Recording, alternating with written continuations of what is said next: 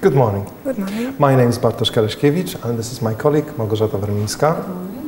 What's your name? My name is Arleta Rosa. Mm-hmm. Thank you. Choose one set and give it to me, please. Okay. This one. Thank you. Here you are. Thank you. In this part of the exam, I'm going to ask you a couple of questions. Can we start? Yes. Okay. What's your favorite dish? Um, that's a hard question. Um, my favorite dish is maybe fish and chips Why do you like it? mm, because they are tasty and I like them the most. Do you like shopping for clothes? Yes, of course.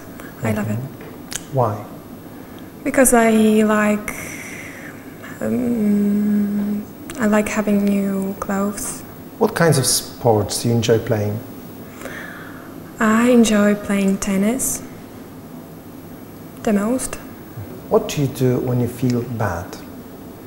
When I feel bad, I I call to my friend and um, I try to to talk with her. Do you do anything to keep fit?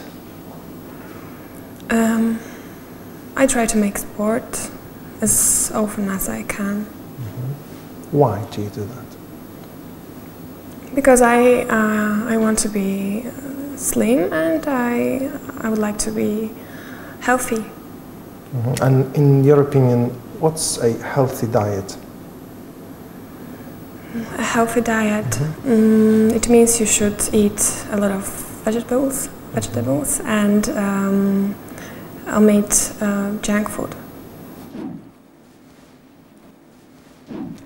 Jak mieliście okazję zobaczyć, e, rozmowa wstępna ma formę luźnej konwersacji między zdającym i egzaminującym. E, Ta część nie jest oceniana za sprawność komunikacyjną, ale ma wpływ na całościową ocenę umiejętności językowych.